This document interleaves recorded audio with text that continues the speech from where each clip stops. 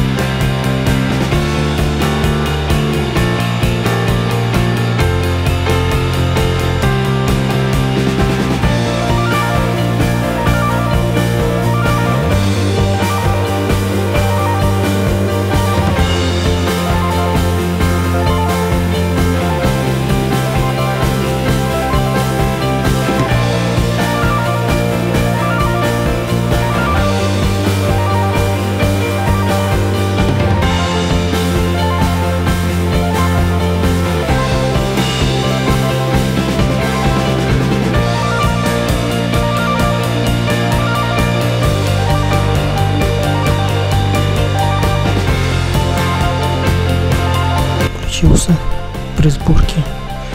Может даже тот разрыв не мешает ему, может там какая-нибудь масса проходит. Здесь вот битый пиксель вижу сверху. И так вроде изображение все показывает. Сейчас еще сенсор проверим. Так, что-то долго включается. Сейчас еще сенсор проверим. Так, при сборке плохо крышка закрывается, потому что здесь вот камера задняя шатается. Если не попасть в паз, то посередке не закрывается. Нужно сдвигать каркасом вверх камеру, чтобы он защелкнулся. Так вроде сборку, сборка легкая. Сейчас подождем, когда включится. Продолжим. Включается, хотя включался при проверке платы. Вот здесь вот внизу экран греется. Ну, идет, идет короткое замыкание. Вот в этом месте, где динамик. Надо бы сейчас опять снять, посмотреть запустить без этой рамки. Всем пытается запуститься и никак. Короче, нашел я причину, из-за чего он не включался. Тачскрин отключил. И он запустился. Без тачскрина запускается. С тачскрином нет.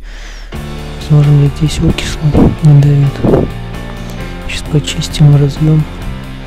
Еще раз попробуем запустить общем, какие-то чудеса творятся. Сенсор так и не заработал. Ну, то есть плата везде греется. Где вот сим разъемит. Где греется. Как бы он включается. Сенсор не работает. И когда гаснет, больше изображение не появляется при включении. Сенсор вот не работает.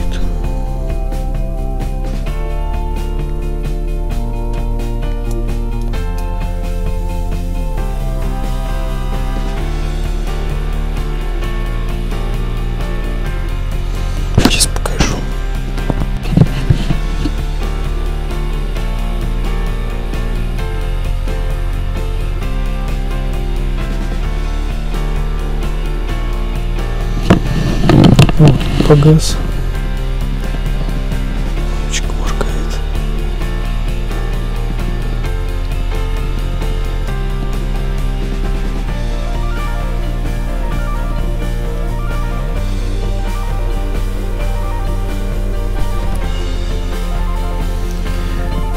Если начать выключать